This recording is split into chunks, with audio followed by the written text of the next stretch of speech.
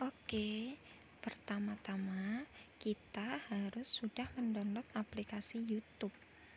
Nah, kita klik saja aplikasi YouTube. Kemudian kita klik pojok kanan atas yang ada tulisannya S ya. Nah, ini memeriksa info tanda loading, kita tunggu saja.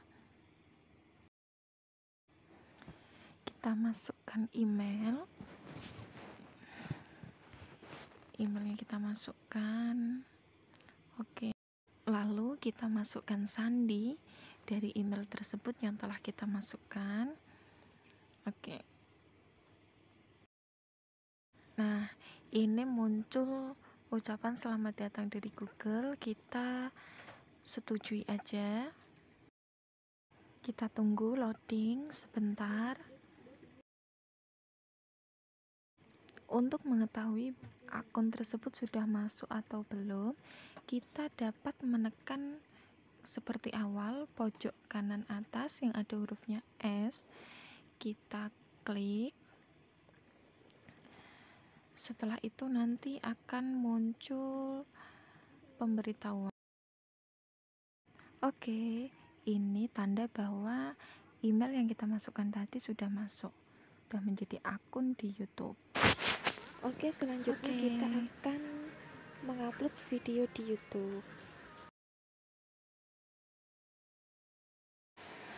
Oke, seperti tadi kita buka aplikasi YouTube kita pilih kemudian kita tekan tombol pojok kanan paling atas kita pilih kemudian ya kita pilih tambahkan akun urutan nomor 2 yang gambarnya orang kita klik kemudian muncul beberapa akun kita pilih email yang masuk pertama kali tadi ya yaitu yang paling bawah kita klik Nah, ini nanti kita pilih tombol pojok kanan atas yang ada hurufnya S.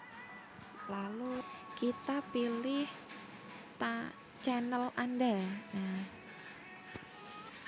kita klik buat channel ya di kolom ya. Kita pilih buat pilih upload video Nah, ini tandanya video kita sudah terupload di channel YouTube. Oke, teman-teman. Yang terakhir kita akan membahas tentang men-setting YouTube. Ya, ini muncul seperti ini. Kita klik pada gambar, kemudian pensil pada bagian atas. Nah setelah itu ada pensil bagian deskripsi. Kita bisa isi sesuai kehendak masing-masing. Kita klik pensil pada gambar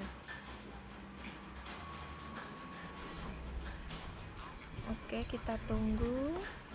Setelah itu kita pilih tombol custom salah satu tombol custom.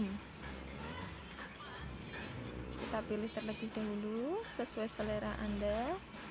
Kemudian klik selesai di pojok kanan bagian atas. Setelah itu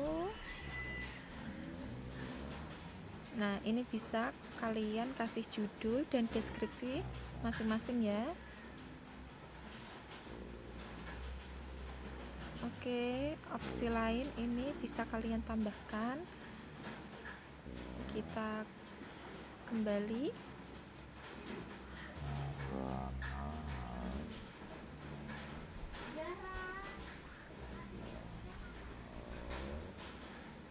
Kita langsung simpan saja.